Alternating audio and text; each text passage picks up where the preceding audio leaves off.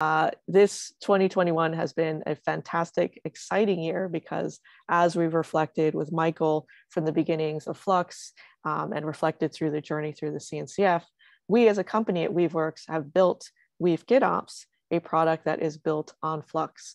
And so we're very excited to have first uh, Liz Warner, the SVP of engineering from our company, uh, sharing a few words. And then after that, we'll have Mark Ramm, who will be showing uh, GitOps at work. So Liz, how are you doing?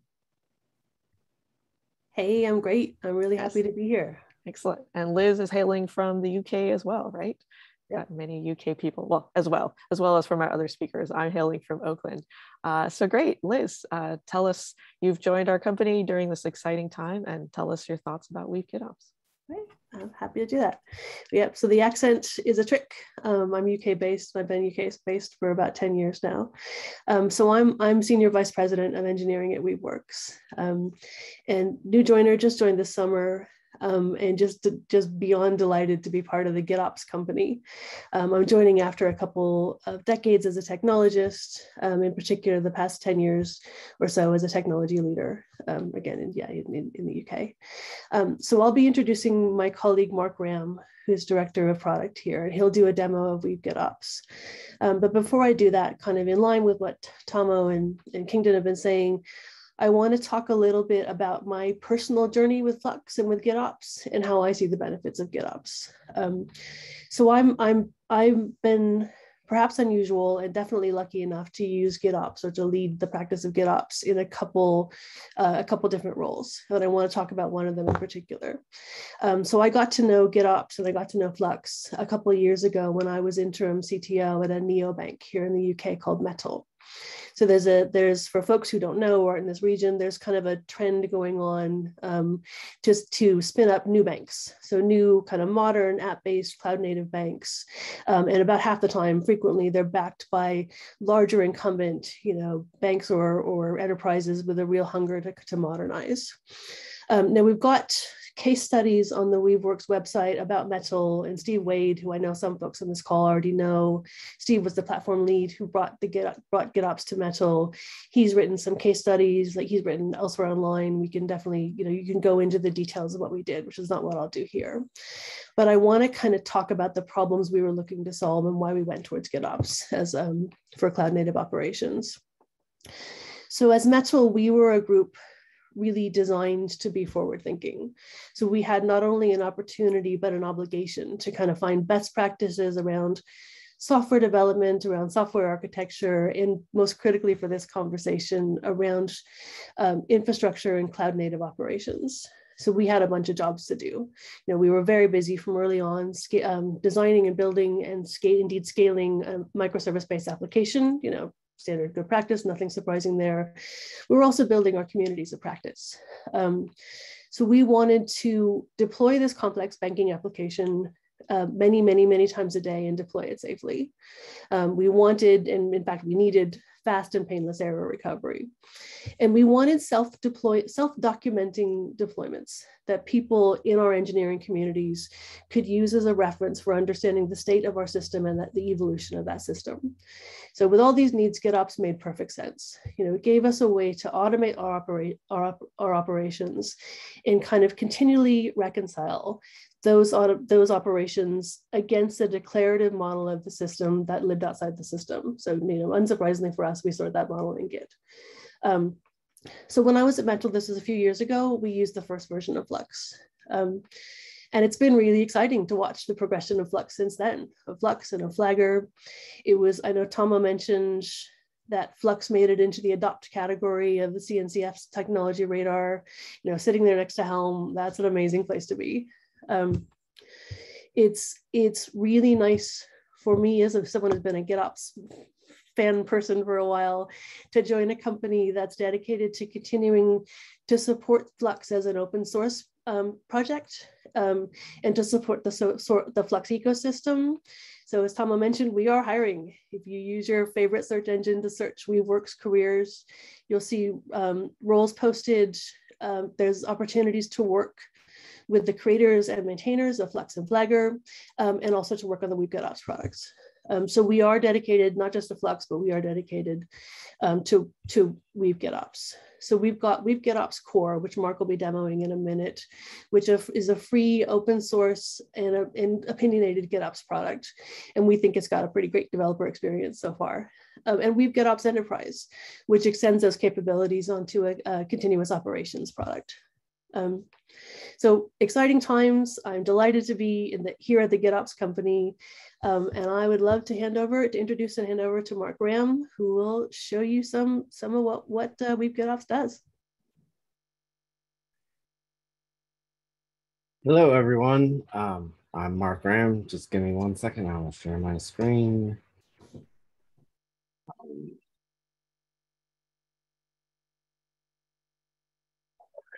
So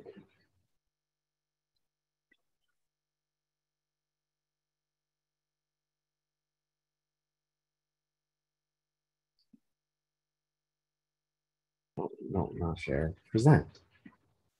All right, can everyone see? Looks like it. Um, so I just wanted to talk a little bit about uh, Weave GitOps um, and how that relates to Flux and then show you a little bit of the Weave GitOps uh, workflows and what's in, in involved in Weave GitOps. Um, we already sort of had an introduction to Weaveworks, so I won't go through this very much. Um, the key goal of GitOps in general and of Weave GitOps and Flux is to reduce the number of operational incidents, the number of failed deploys, increase the ability to roll back quickly, so reduce mean time to recovery, and increase the deployment frequency by making it easier for developers to get changes into production in a robust and reliable way. Um, I have been toying with the tagline of Weave GitOps that it's Kubernetes native, Flux native GitOps platform we built on top of Flux so that you can get all of the features of Flux out of the box. Um, we built on top of Flux because Flux is the most powerful GitOps platform that there is.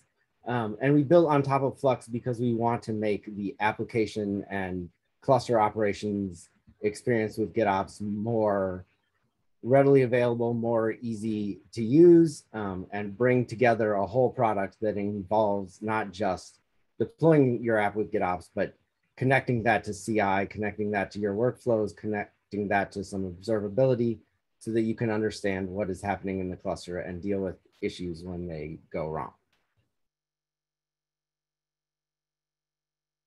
Um, Weave GitOps really comes in two flavors, um, teams and or enterprise and core.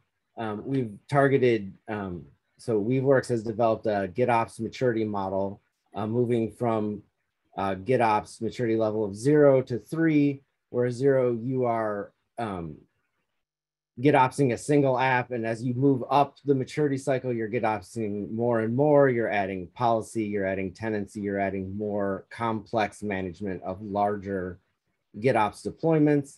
You need tenancy so you can avoid um, application operators stomping on one another by accidentally deploying on top of one another.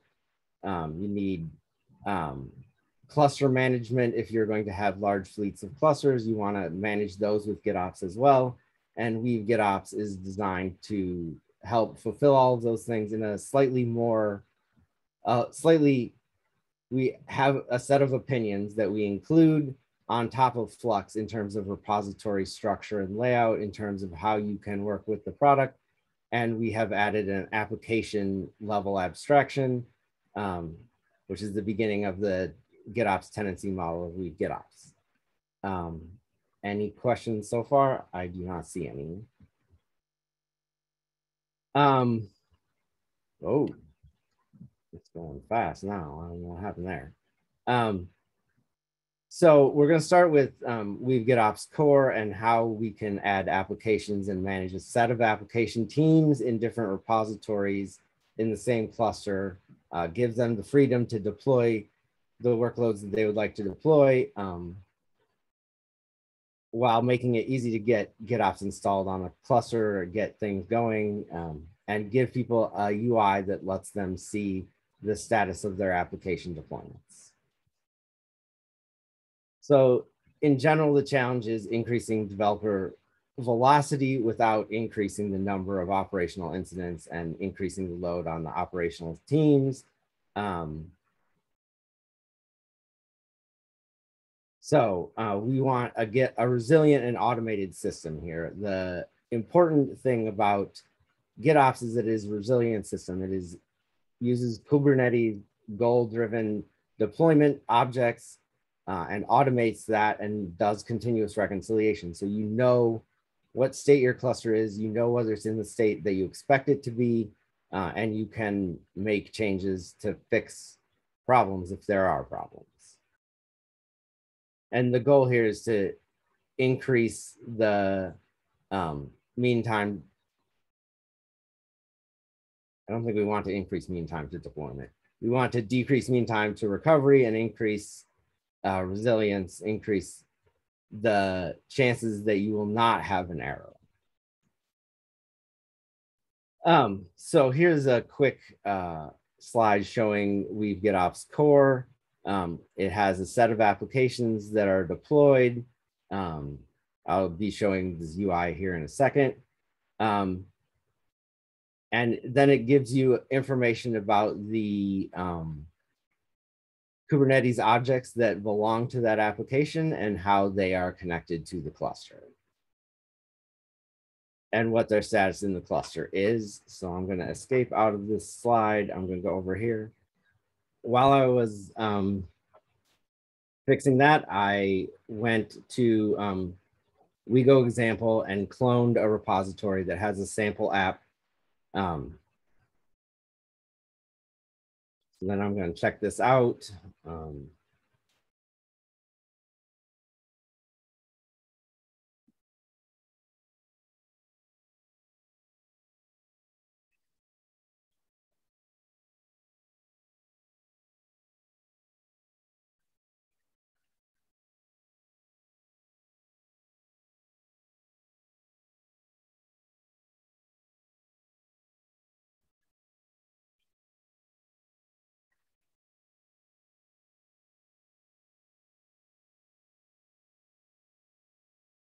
Oh,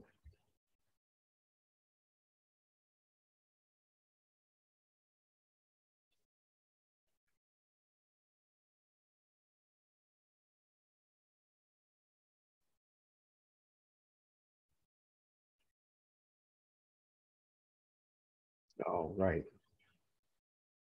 Check out clone. What am I doing? Okay, so I have now a PodInfo repository. PodInfo is just a sample app that we often use for development or for demos. Uh, consists basically of two services, a front end and a back end service, each with a deployment YAML. Um, standard Kubernetes files here. Nothing that is not Kubernetes native um, going on here.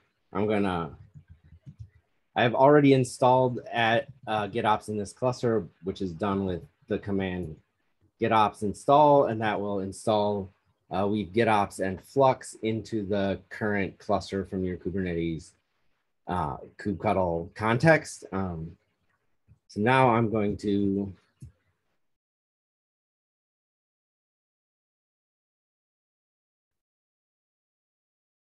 So what that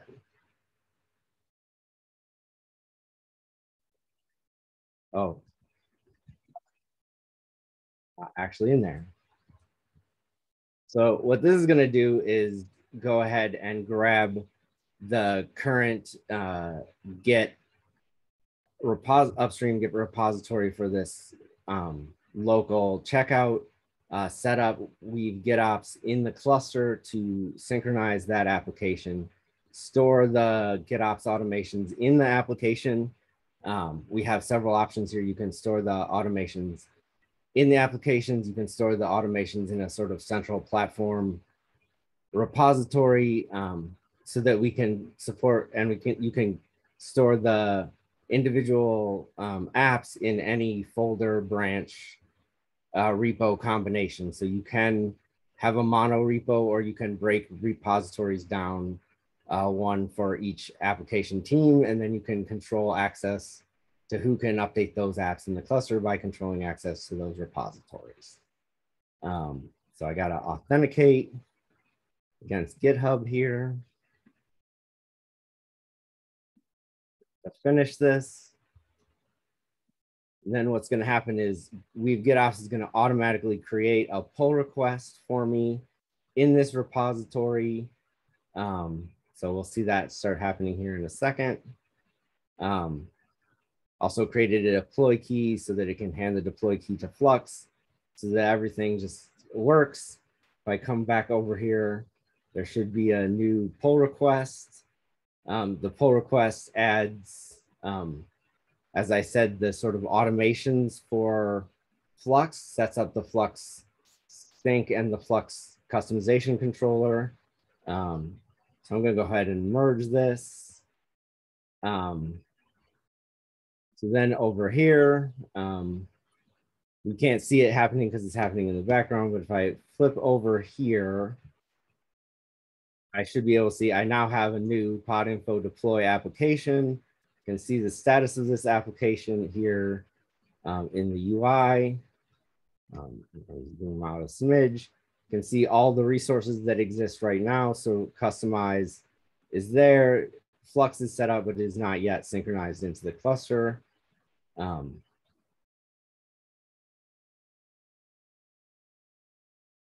so I will come back to this in a second. Um, any questions about this so far? I can have multiple applications. I can see the status of my applications.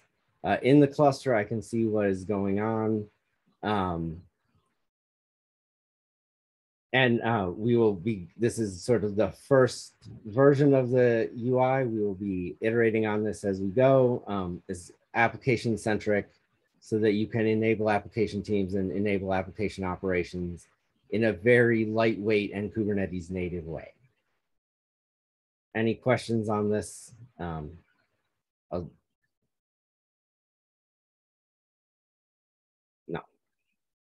All right, so um, I could go in here if I wanted to um, and make a change to the deployment. I could say I want to have more um, pods running. I could change the background color in here.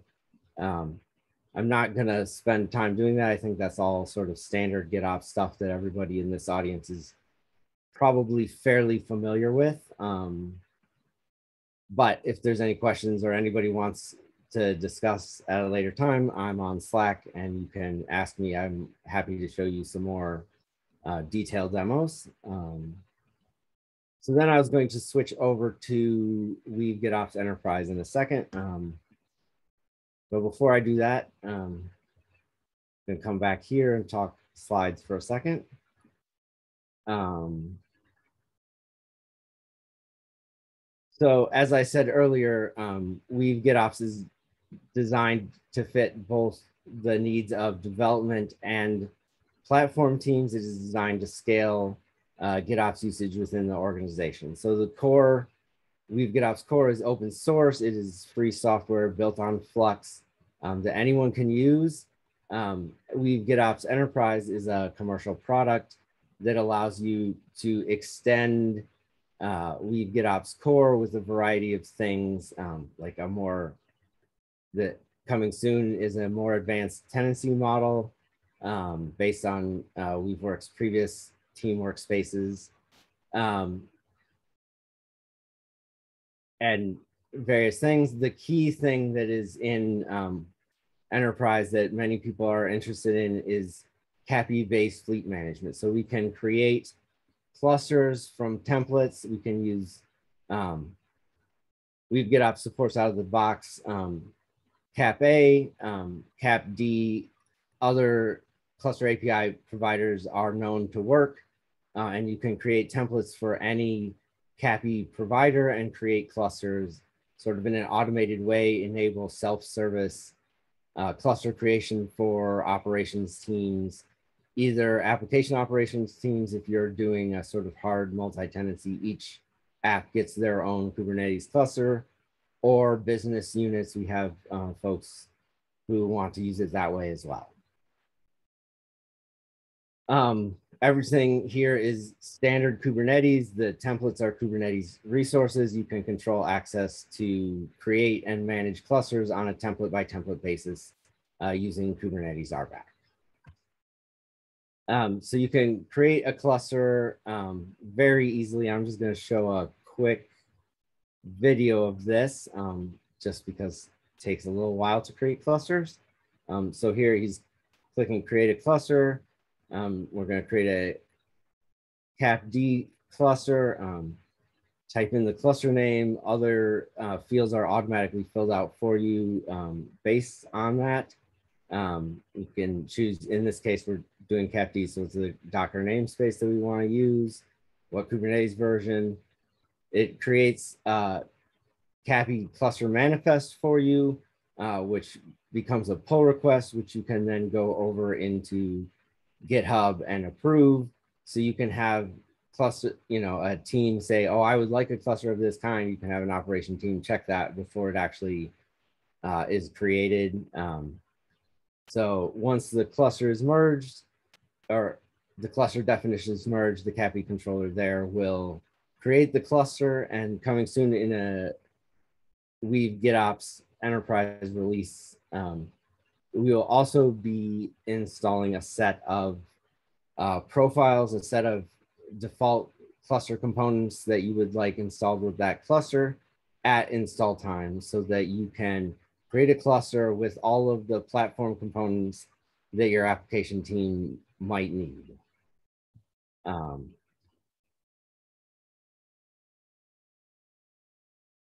I guess I have a couple more slides here to talk through.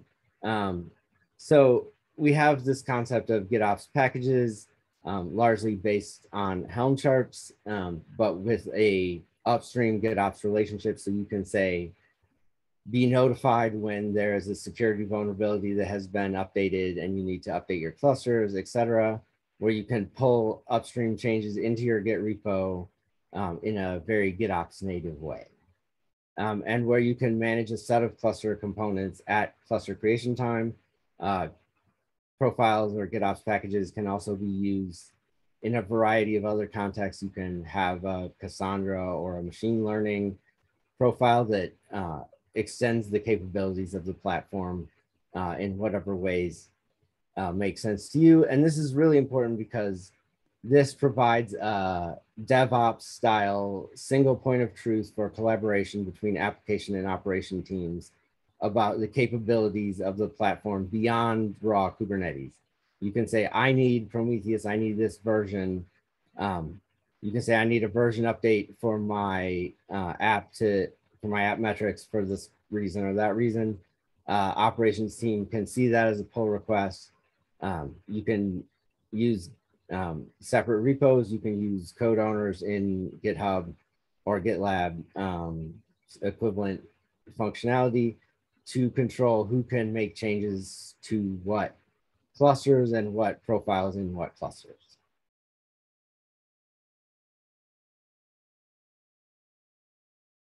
Um, and then I guess finally, um, Weave GitOps provides a package solution. We don't just give you some software and leave you to figure everything out um, on your own. We have consultants who have a lot of experience doing large scale GitOps deployments and GitOps migrations with um, media companies, banks, all kinds of folks around. Um, the space. Uh, if you have any questions on any of this, I would be happy um, to answer questions.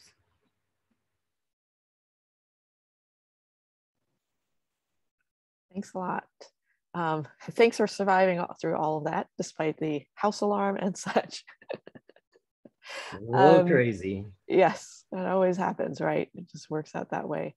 Uh, I'm scanning the GitOps Days conversations, and there might be some just more broad questions about practices that maybe would be applicable to talking about Weave GitOps. We just have a few minutes, but um, you know, if one person was asking like, do I have one appo? Sorry, do I have one app per repo? And others asking about um, if I have a lot of apps, is it uh, one repo per cluster? Are there conflicts? So there's a lot of chat already going on, but I thought maybe you have some opinions of.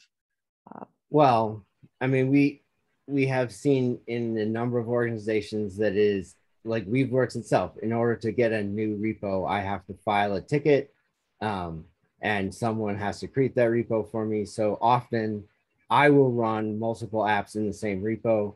I keep them in separate folders. I often have a branch per um, life cycle stage. So I'd have a branch that represents changes that are in development process, changes that are in QA, changes that have gone to staging, and changes that have gone to production. Um, and I can just merge changes through those branches across the clusters that are impacted by that branch. So um, that's the sort of out of the box default way that I use it, um, but you can, um, I just demoed keeping each app in a separate repository um, so that we can control access by team. Um, whichever way works for you and your organization should be supported by your GitOps tool. Excellent. Thank you so much.